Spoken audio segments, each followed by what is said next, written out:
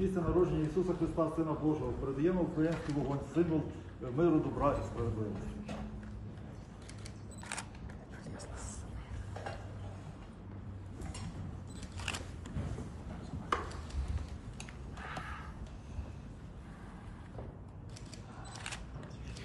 Ми сьогодні прибули за Віфлеємським вогнем для того, щоб е, цей вогонь привести нашим військовим, бо дуже багато віруючих серед військових, які кожного дня моляться Богу, але у них немає зараз можливості сходити до церкви,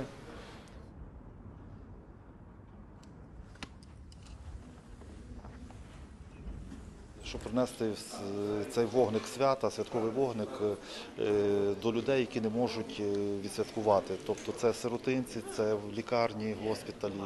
Е, Зараз нас повезуть вогонь на передову.